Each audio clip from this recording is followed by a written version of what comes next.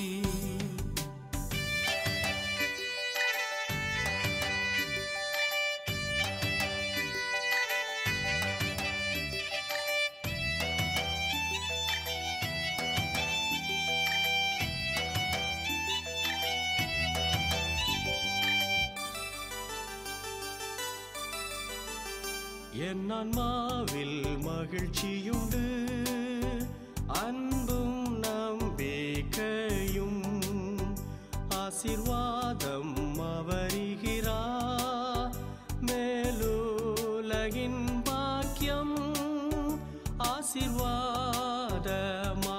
ஓடி சமதானம் வரும் பொழுது ஆன்மாவில் ஓழி கதிர் வீசும் இயேசுவின் பொன்.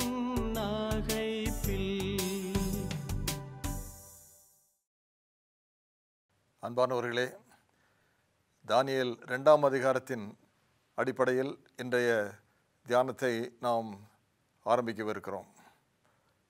தானியல் புத்தகம் உலக சரித்திரத்தின் இறுதி கட்டத்தில் வாழ்ந்து கொண்டிருக்கிற உங்களுக்காகவும் எனக்காகவும் எழுதப்பட்டிருக்கிறது. தானியல் புத்தகத்தில் இடம்பெற்றிருக்கக்கூடிய நான்கு முக்கியமான தரிசனங்கள் அந்த தரிசனங்கள் எடுத்துக்காட்டும் நாடுகளின் சம்பவங்கள் சூழ்நிலைகள் இவைகளின் மூலமாக எப்படி இந்த உலகத்தின் அரசுகள் ஒன்றன் பின் ஒன்றாக பதவி வகித்து உலகத்தின் காரியங்களை அவர்கள் நிர்வாகித்து நடத்துவார்கள் என்பதை நாம் அறிந்து கொள்கிறோம். அப்படிப்பட்ட ஒரு சூழ்நிலையிலே நீங்களும் நானும் எப்படிப்பட்ட வாழ்க்கை நடத்த வேண்டும் என்பதை நமக்கு குறிப்பிடுவதற்கு தானியல் புத்தகத்திலே நான்கு முக்கியமான கதைகளும் வரலாற்று குறிப்புகளும் இடம்பெற்றிருப்பது குறித்து நாம் கவனிக்கலாம். இன்றைக்கு இந்த ரெண்டாம் அதிகாரத்தின் சூழ்நிலையிலே நாம் கவனித்து பார்க்கும் பொழுது நேபுகாத் நேச்சார் என்கிற மன்னன் எருசலேமுக்கு விரோதமாக படையெடுத்து போய் முற்றுகை போட்டு வெற்றி பெற்று அந்த நாட்டில் உள்ள செல்வத்தையும் செல்வந்தர்களையும் இன்னும் கல்விமான்களையும் ஞானிகளையும் அவன் எப்படி சிறை கைதிகளாக எடுத்து கொண்டு வந்தான் என்பதையும் அந்த நாட்டில் இருந்த ஒரு ஆலயத்தையும் ஆலயத்தின் பனிமூட்டுகளையும் அல்லது பனிமூட்டுகளுக்காக பணிவிடைகளுக்காக வைக்கப்பட்டிருந்த பாத்திரங்களையும் அவன் எடுத்துக்கொண்டு போய் தன்னுடைய வசமாக தன்னுடைய நாட்டிலே சேர்த்தான் என்பதையும் முதலாம் அதிகாரத்திலே நாம் நன்றாக படிக்க முடியும். இதன் விளைவாக நேபாத் நேச்சாருக்கு வெற்றி கிடைத்தது. ஆண்டவருடைய பிள்ளைகளுக்கு தோல்வி பலனாக கிடைத்தது. இது ஏன் என்கிற கேள்வி ஆண்டவருடைய பிள்ளைகளுக்கு இருந்தது. அதே சமயத்தில் வெற்றி கிடைத்தும் அந்த வெற்றி நிலைத்திருக்குமா? நீடித்திருக்குமா? என்கிற கவலை நேபுகாத் நேச்சாருக்கு வந்தது என்பதை நாம் நன்றாக பார்க்க முடிகிறது. இந்த ரெண்டாம் அதிகாரத்திலே இந்த கவலையோடு இந்த ஒரு எண்ணத்தோடு தன்னுடைய வாழ்க்கையை நடத்தி கொண்டிருந்த நேபுகாத் நேச்சாருக்கு பரலோகத்தின் தேவன் தன்னுடைய வரப்போகிற காரியங்களை விலைக்கு சொல்ல வேண்டும் என்று தீர்மானிக்கிறார். அந்த அரசனுக்கு விளக்கத்தை கொடுப்பதற்கு தம்முடைய தாசனாகிய தானியலை அவர் எடுத்து பயன்படுத்த தீர்மானிக்கிறார். இவ்விதமாக இந்த இரண்டு முக்கியமான வாலிபர்கள் ஆண்டவருக்காக ஈடுபட்ட இந்த சம்பவங்களின் மூலமாக எப்படி உலக சரித்திரத்தை அவர் எடுத்துச் சொல்லவும் உங்களுக்கும் எனக்கும் இந்த கடைசி காலத்தில் வாழ்ந்து கொண்டிருக்கிற நமக்கு ஆலோசனையாக அருமையான நல்ல சத்தியங்கள் கொடுக்கப்படுவதை குறித்து நாம் இந்த ரெண்டாம் அதிகாரத்திலே படித்து பார்க்க முடிகிறது. அரசன் எருசலேமை வீழ்த்தி வெற்றி கொண்டு மீண்டுமாக தன்னுடைய நாட்டுக்கு வந்து தன்னுடைய காரியங்களை கவனித்து கொண்டிருக்கும்போது இந்த வெற்றி நிலைக்குமா நீடித்திருக்குமா என்கிற கவலையோடு ஒரு நாள் இரவிலே நித்திரைக்கு போனபோது அவனுக்கு ஒரு கனவு உண்டாயிற்று. அந்த கனவின் பயங்கர தோற்றத்தினால் அதிர்ச்சியினால் அவன் விழித்து எழும்பினான். விழித்த மாத்திரத்திலே கனவு அவனுடைய மனதை விட்டு நீங்கி போய்விட்டது. கனவினால் ஏற்பட்ட பயத்தை காட்டிலும் அந்த கனவு தன்னுடைய மனதை விட்டு நீங்கிவிட்டதினால் ஏற்பட்ட ஒரு மனக்கவலை அந்த அரசனுக்கு அதிகமாக ஏற்பட்டது. இப்படிப்பட்ட சூழ்நிலையிலே தனக்கு உதவி செய்யத்தக்கதாக அந்த அரண்மனையிலே தன்னுடைய நாட்டிலே ஞானிகள் இருந்தார்கள். நான்கு விதமான பெயர்களுடன் இந்த ஞானிகள் கல்விமான்கள் அரசனுக்கு தங்களுடைய வாழ்க்கையிலே சேவை செய்தார்கள். அவர்கள் ஜோசிகர்களும் குறிகாரர்களும் இன்னும் கல்தையர்களும் இன்னும் சூனியக்காரரும் என்கிற இந்த நான்கு முக்கியமான குறிப்புடையவர்கள் அரசனுக்கு அரண்மனையிலே தங்களுடைய சேவை செய்து வந்தார்கள்.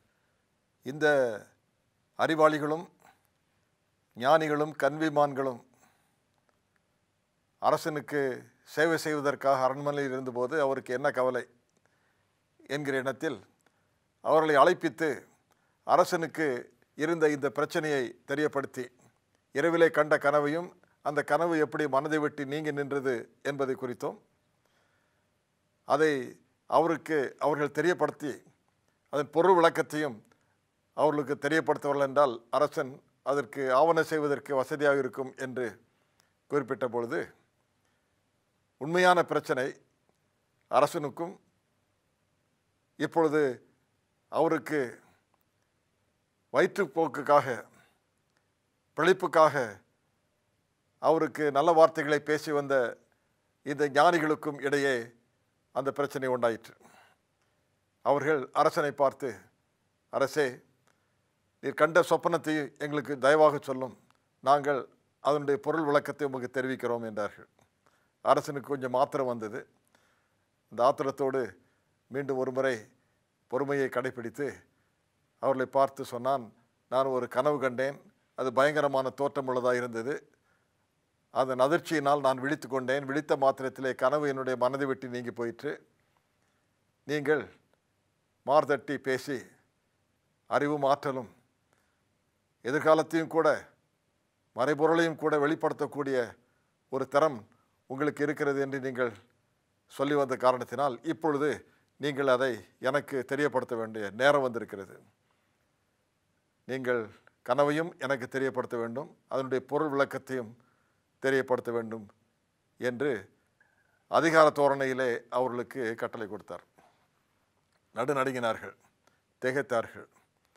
அரசனுடைய சமூகத்திலே பணிந்து குனிந்து நின்று மீண்டுமாக அரசனை பார்த்து அரசே நீர் கேட்கும் இந்த காரியத்தை தெரியப்படுத்துவதற்கு யாருமே கிடையாது.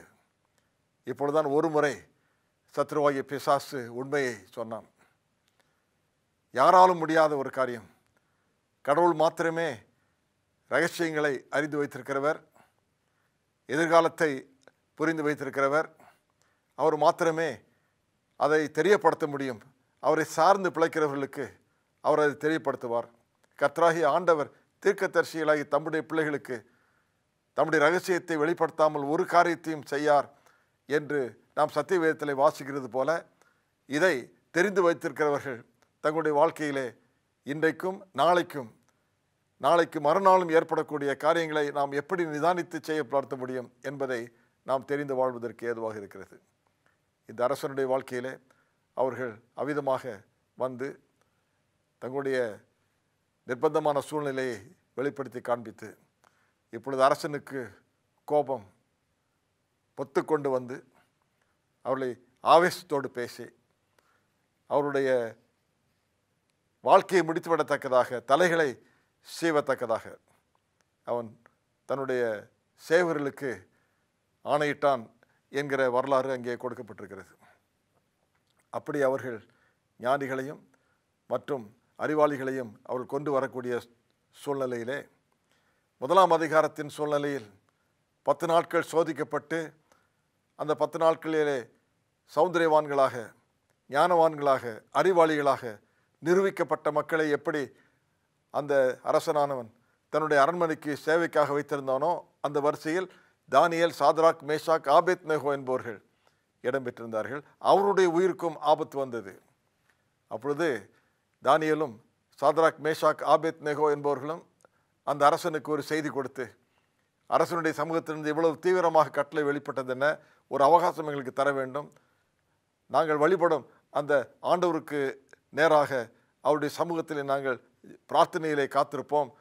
அரசனுடைய மனதிலே கண்ட கனவையும் அதற்கான பொருள் விளக்கத்தையும் அந்த ஆண்டவர் எங்களுக்கு தெரியப்படுத்துவார் என்கிற நிச்சயம் எங்களுக்கு இருக்கிறது என்று செய்தி கொடுத்து அனுப்பினார்கள். அவர்களுக்கு அந்த அவகாசம் வழங்கப்பட்டது. அதன் விளைவாக தானியலும் அவனுடைய தோழர்களும் ஜபத்திலே தரித்திருந்து ஆண்டவர் அவர்களுக்கு இந்த கனவையும் கனவின் பொருள் விளக்கத்தையும் வெளிப்படுத்தி காண்பித்தார் என்பதை நாம் நல்ல முறையிலே இந்த ரெண்டாம் அதிகாரத்தில் வாசிக்க முடிகிறது. தானியல் அரசுக்கு முன்பாக வந்து நின்று தானியல் இந்த விளக்கத்தை கொடுப்பதற்காக காத்திருந்த பொழுது அரசன் தானியலை பார்த்து தானியலே நீ இந்த கனவையும் கனவின் பொருள் விளக்கத்தையும் என கொடுப்பதற்கு ஆயத்தமாக இருக்கிறாயா? என்று கேட்ட பொழுது அவன் ஆம் என்று உடனே தெரியப்படுத்தாமல் நான் அதை செய்யவே முடியாது. பரலோகத்தின் ஆண்டவர் ராஜாவாகி உமக்கு இந்த திட்டத்தை தெரியப்படுத்தவும் என்னை உமக்கு தெரியப்படுத்துவதற்கு ஒரு கருவியாக பயன்படுத்தவும் தீர்மானித்திருக்கிறார். ஆகையால் நான் உம்முடைய சமூகத்திலே நீர் கண்ட கனவையும் அந்த கனவுக்கான பொருள் விளக்கத்தையும் தெரிவிக்க முற்படுவேன் என்று சொல்லி நீர் ஒரு பெரிய சிலையை கண்டீர். அந்த சிலையினுடைய அந்த சாயல் பயங்கரமாக இருந்தது. ரூபம் அதிர்ச்சி ஊட்டத்தக்கதாக இருந்தது. தலை பசும்பொன்னாகவும் மார்பும் பயங்களும் வெள்ளியாகவும் வயிறும் தொடையும் வெண்கலமாகவும் அதனுடைய கால்கள் இரும்பாகவும் பாதங்கள் பாதி இரும்பும் பாதி கழுமணுமாக இருந்தன. இதை பார்த்து கொண்டிருக்கும் போதே மலையிலிருந்து கைகளால் பெயர்க்கப்படாமல் பெயர்ந்து உருண்டு வந்த ஒரு கல்.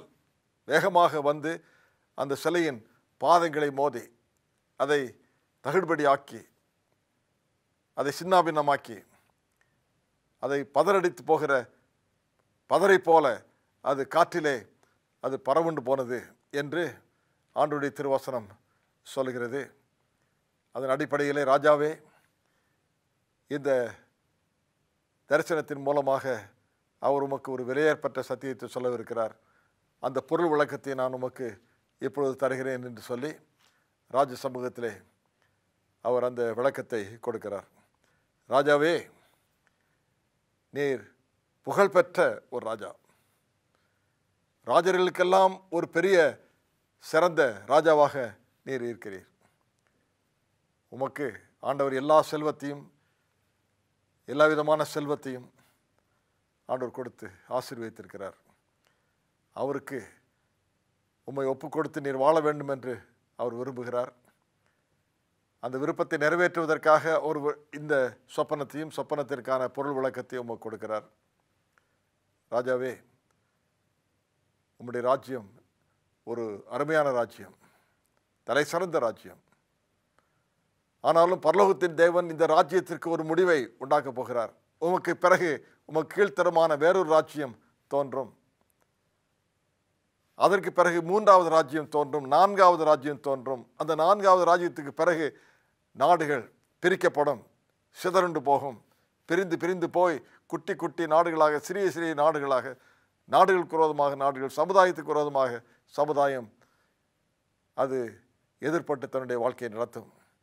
அப்படிப்பட்ட நேரத்திலே கைகளால் பெயர்க்கப்படாமல் பெயர்ந்து உருண்டு வந்த அந்த கல் எப்படி வந்து இந்த சிலையை மோதி அதை நொறுக்கி தவிடுபடி ஆக்கி காற்றிலே பறக்கடிக்கும் பதறை போல் பறந்து போகத்தக்கதாக செய்ததோ அதே போல இந்த நாடுகளின் ராஜ்யமானது பிரிக்கப்படும் என்றும் பிரிக்கப்பட்ட அந்த ராஜ்யத்தின் அடிப்படையிலே பரலோகத்தின் தேவன் என்னென்றைக்கும் அழியாத தம்முடைய ராஜ்யத்தை ஸ்தாபிப்பார் என்றும் ஆண்டவர் தானியல் தீர்க்கதரிசியின் மூலமாக நேபுகாத் நேச்சாராகிய மன்னனுக்கு விலையேறப்பட்ட ஒரு சத்தியத்தை வெளிப்படுத்தி காண்பித்தார்.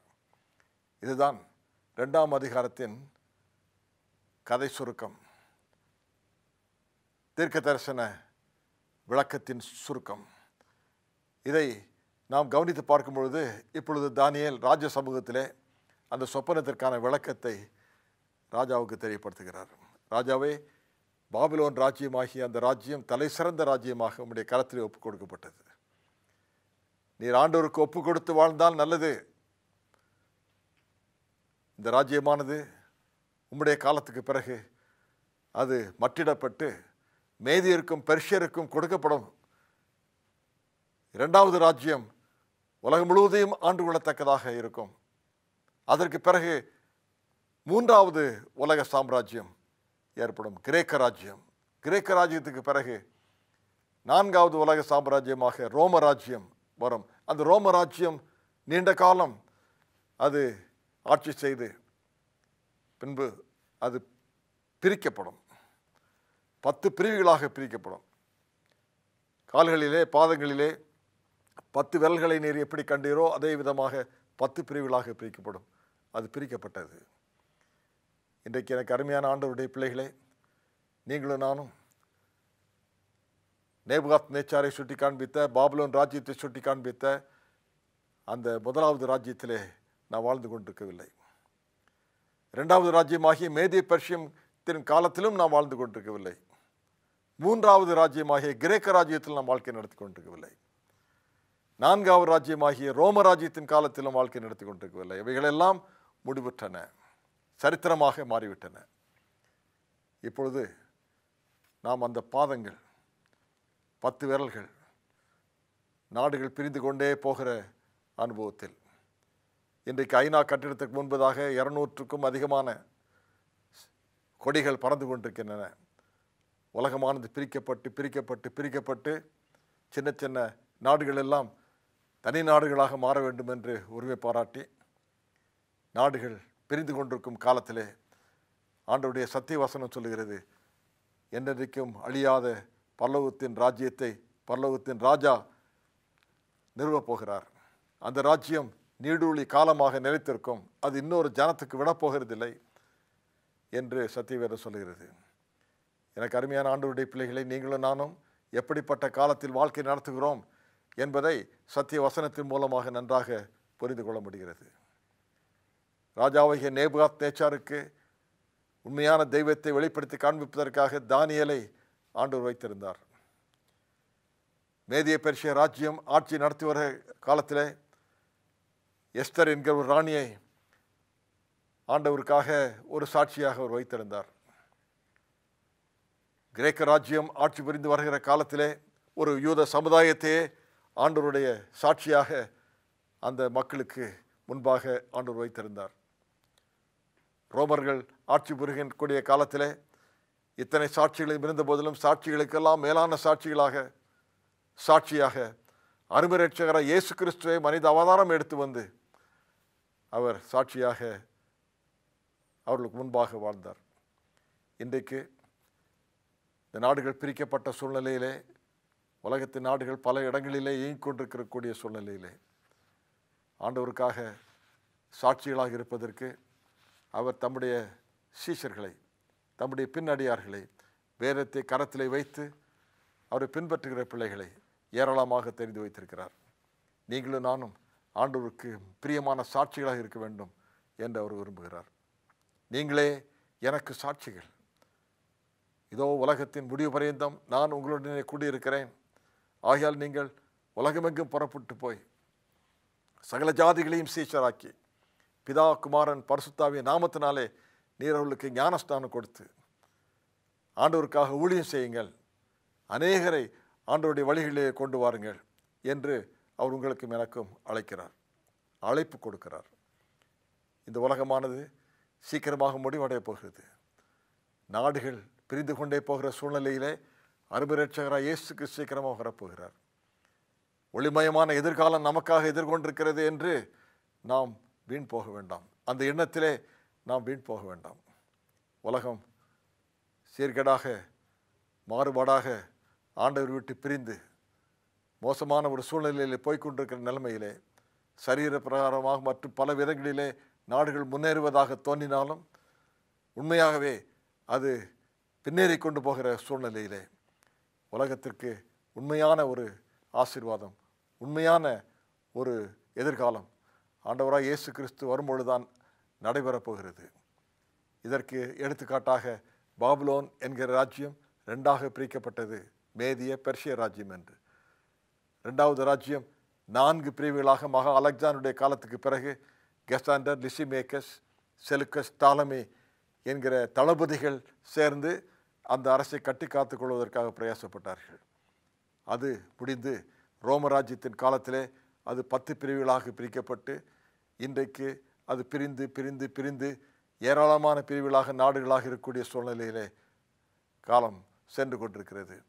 ஆகையால் உலகம் சீக்கிரமாக முடிவடையப் போகிறது என்பதற்கு ஒரு எடுத்துக்காட்டு தானிய ரெண்டாம் அதிகாரத்திலே உங்களுக்கு எனக்கு கொடுக்கப்பட்டிருக்கிறது. அருமை ரட்சகராய் இயேசு கிறிஸ்துவை நாம் முழு மனதோடு ஏற்றுக்கொள்வதற்கான ஒரு அழைப்பு ஒரு நேரம் வந்திருக்கிறது. ஆண்டவருக்கு சாட்சிகளாக இருக்கக்கூடிய விதத்திலே நம்மை ஒப்புக் கொடுக்க வேண்டிய ஒரு நேரம் வந்திருக்கிறது. ஆண்டவர் இந்த ரெண்டாம் அதிகாரத்தின் மூலமாக உண்மையான கடவுள் யார் என்றும் அவர் எழுதி கொடுத்த சத்திய புத்தகம் எது என்றும் நீங்களும் நானும் அந்த ஆண்டவருக்கு நம்மை ஒப்பு கொடுத்து அந்த திருமறை நூல் சொல்லுகிற சத்தியங்களுக்கு ஏற்றபடி நம்முடைய வாழ்க்கையை நடத்த வேண்டும் என்பதற்கும் ஏதுவாக அநேக நல்ல சத்திய வசனங்கள் நமக்கு இந்த ரெண்டாம் அதிகாரத்திலே கொடுக்கப்பட்டிருக்கிறது. பாபிலோன் விழுந்து மேதிய பெர்ஷிய ராஜ்யம் விழுந்து கிரேக்க ராஜ்யம் விழுந்து ரோம ராஜ்யம் விழுந்து நாடுகள் பிரிந்து கொண்டு போய் போராட்டங்களும் குழப்பங்களும் பலவிதமான சமுதாய சச்சரவுகளும் ஏற்பட்டு கொண்டிருக்கக்கூடிய காலத்திலே ஆண்டவர் இந்த உலகத்தின் ராஜ்யங்களுக்கு முடிவு செய்து அவருடைய ராஜ்யத்தை ஸ்தாபிக்கத்தக்கதாக வரப்போகிறார். அதற்கு முன்பதாக இன்றைக்கு அவருடைய கிருபையின் ராஜ்யமானது நம்முடைய வாழ்க்கையிலே ஸ்தாபிக்கப்பட வேண்டும். கிருபையின் ராஜ்யத்துக்கு நாம் நம்மை ஒப்பு கொடுக்கும் பொழுது அவருடைய மகிமையின் ராஜ்யம் ஒரு நாள் வரும் பொழுது அந்த ராஜ்யத்துக்கு நாம் பங்காளிகளாக இருப்போம் என்று ஆண்டுடைய திருவசனம் சொல்லுகிறது. ரெண்டாயிரம் வருஷங்களுக்கு முன்பதாக மூன்று சிலுவைகள் அந்த கல்வாரி மேட்டிலே இடம்பெற்றிருந்தன. ரெண்டு பேர் ஆண்டவருக்கு பிரியமில்லாமல் தங்களுடைய வாழ்க்கையை ஈடுபடுத்தினவர்கள். அது நடுவிலே அருமை இயேசு கிறிஸ்து. ஒருவன் அவரை இழந்தான் மற்றவனோ கடைசி மணித்துளிகளின் நேரத்தில். ஆண்டவரை பார்த்து ஆண்டவரே உம்முடைய ராஜ்யத்திலே வரும்பொழுது அடியினை நினைத்தருளும் என்று மன்றாடினான். அந்த மன்றாட்டுக்கு ஈடாக அந்த ஆண்டவர் அவனுக்கு அந்த பரலோக ராஜ்யத்தின் வாக்கை கொடுத்தார். இன்றைக்கு உங்களுக்கும் எனக்கும் அதே விதமான அழைப்பு தான் கொடுக்கப்படுகிறது. உலகத்தின் ராஜ்யங்கள் சீக்கிரமாக முடிவடைய போகிறது. ஆண்டவருடைய திருவரசு சீக்கிரமாக வரப்போகிறது. நீங்களும் நானும் அதற்காக நம்மை ஆயத்தப்படுத்த வேண்டியது மிக மிக அவசியமாக இருக்கின்றது. ஆகையால் எனக்கு அருமையான ஆண்டவருடைய பிள்ளைகளே நம்மை ஆண்டவருக்கு முழு மனதோடு ஒப்பு கொடுப்போம் ஜபிப்போமா? எங்கள் அன்புள்ள நல்ல ஆண்டவரே இந்த விலையேறப்பட்ட திருவசன வாக்குத்தத்தங்களுக்காக நல்ல போதனைகளுக்காக எங்களுக்கு வந்த வெளிப்படுத்துதலுக்காக எச்சரிப்புகளுக்காக தூய ஆவியன் மூலமாக எங்களுக்கு கொடுத்த அழைப்புக்காக உமக்கு நன்றி செலுத்துகிறோம். நாங்கள் எப்படிப்பட்ட காலத்திலே வாழ்க்கை நடத்துகிறோம்? உலக சரித்திரம் எவ்விதமாக போய்கொண்டிருக்கிறது நாடுகள் முன்னேறி கொண்டிருக்கிறதா? அல்லது அது மோசமாக ஒரு நிலையிலே போய்கொண்டிருக்கிறதா என்பதை நாம் நன்றாக அறிந்து கொள்ளத்தக்கதாக எங்களுக்கு துணை புரிந்தீர். ஆண்டவரே அப்படிப்பட்ட காலத்திலே நீர் எங்களுக்கு அழைப்பு கொடுத்திருக்கிறீர். உமக்கென்று எங்களை ஒப்புக் கொடுக்க வேண்டும் என்று அழைப்பு கொடுத்திருக்கிறீர். உம்முடைய ராஜ்யத்தின் பிள்ளைகளாக இப்பொழுதே நாங்கள் வாழ வேண்டும் என்று அழைப்பு கொடுத்திருக்கிறீர். கிருபையின் ராஜ்யத்திலே நாங்கள் சேரும்போது ஒரு நாள் நாங்கள் மகிமையின் ராஜ்யத்திலும் பிரவேசிப்போம் என்கிற விலையேறப்பட்ட வாக்குத்தத்திற்காக உமக்கு நன்றி செலுத்துகிறோம். உம்முடைய கிருபை எங்களோடு கூட இருக்கட்டும் சத்திய வசனத்தை கேட்கிற ஆண்டவருடைய பிள்ளைகளை அளவில்லாமல் ஆசீர்வதித்தரலும் அவருடைய குடும்பங்களை ஆசீர்வதித்தரலும் பிள்ளைகளை ஆசீர்வதித்தரலும் கையின் பிரயாசங்களை ஆசீர்வதித்தரலும் வேலை தொழில்களை ஆசீர்வதித்தலும் வியாதிகள் கஷ்டங்கள் கவலைகள் இருக்கிறவர்களுக்கு இயேசுவின் நாமத்தினாலே நீர் நல்ல சுகத்தையும் பலத்தையும் கொடுத்து ஆதரிக்க வேண்டும் என்று ஒப்புக் கொடுக்கிறோம் உங்களுடைய அன்புள்ள கரம் தம்முடைய பிள்ளைகளை எப்பொழுதும் காப்பாற்றி வழிநடத்த நாங்கள் ஒப்புக் கொடுக்கிறோம் ஏற்றுக்கொள்ளும் ஆசீர்வதியும் வழிநடத்தும். இயேசுவின் நாமத்தில் ஜெபிக்கிறோம். ஜீவனும் அன்பும் உள்ள நல்ல ஆண்டவரே. ஆமேன்.